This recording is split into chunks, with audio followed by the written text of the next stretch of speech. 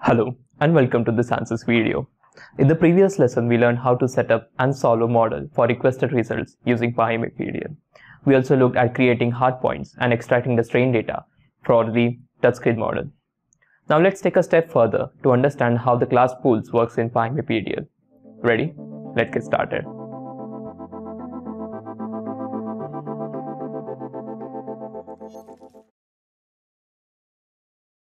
If you recall in the lesson 1 of this course, we discussed an example where AI-based algorithm is trained to read zip codes on mail letters.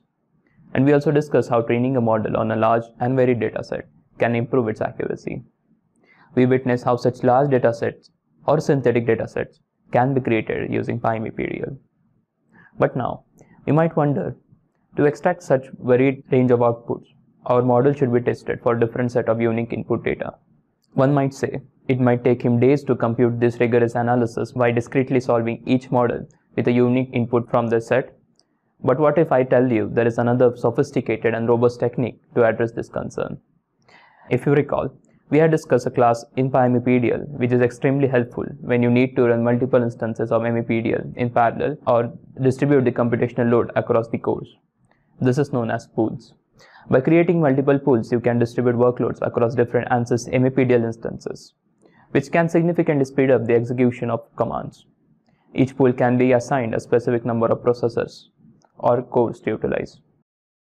We refer to a computer that is running the PyMAPDL script as the local computer. But this does not limit us to the local machine.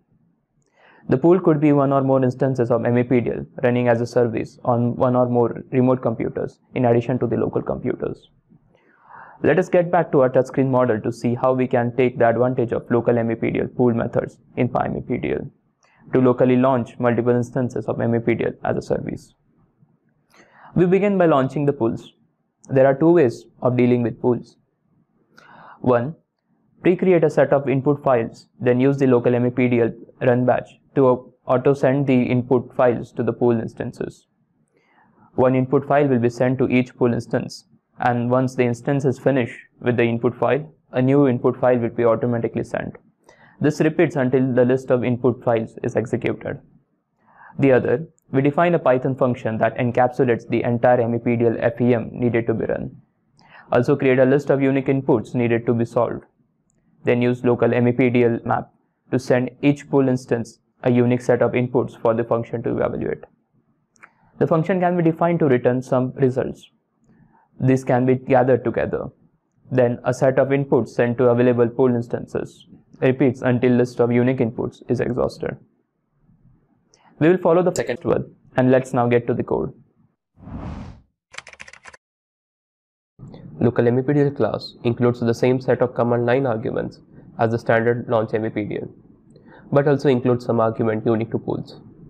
The first one being the number of instances to launch. Here we will use 3. We will also use the progress bar to the default value, which is true to visualize the same. Having defined the number of processes to be used running locally, let's move further. In case you have missed the previous video and are just curious about the pools, no worries. We will quickly walk you through the code, but we highly recommend you to go through the previous lesson. In contrast to the previous video, this time we will define the model using a function definition which makes it easier to interact with pools. Let us define the function model with the variables length, height, material property, section data, etc. and define them with respective inputs.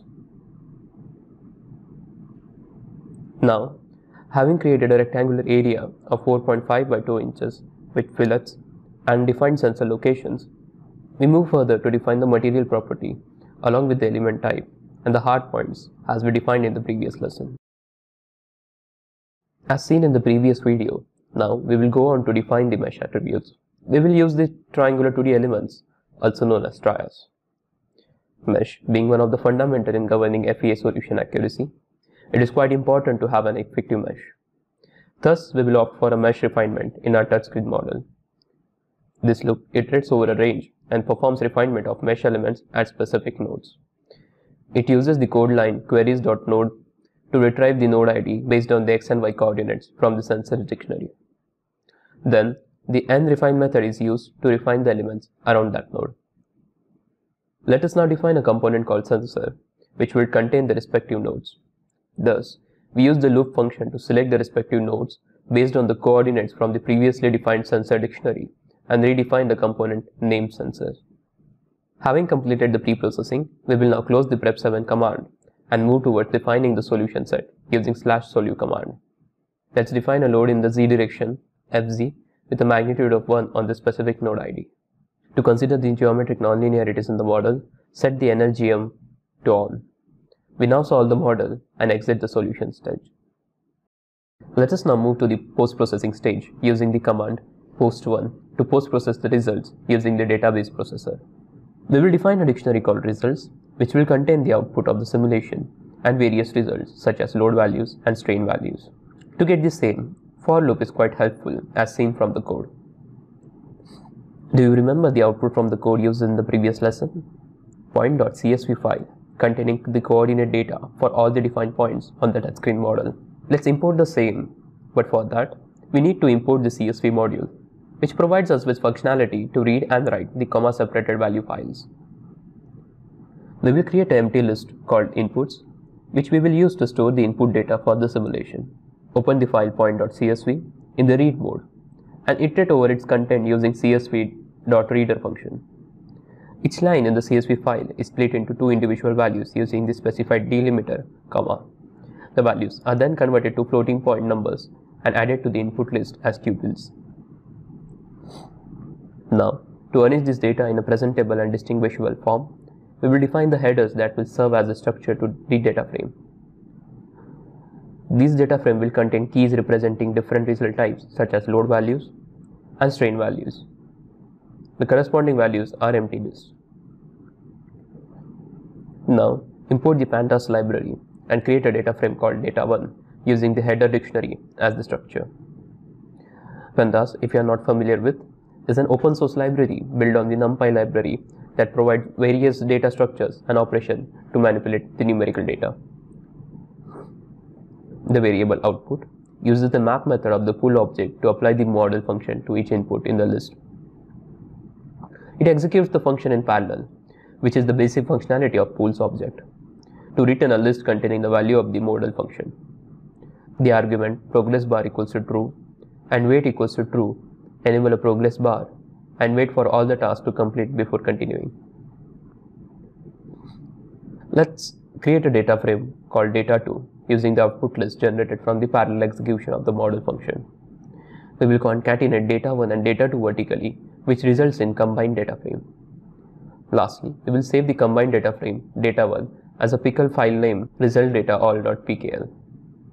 The pickle file allows for efficient storage and retrieval of complex data structures in Python. Now we will exit the pool with the command line pool.exit. With this, we have reached to the end of this video and course. To make sure you really understand the material, try out the shared workshop files and the course quiz. This will help you to grasp the content better. I hope you find this video helpful. If you want to learn more, check out the other valuable resources on courses.ansys.com. See you soon.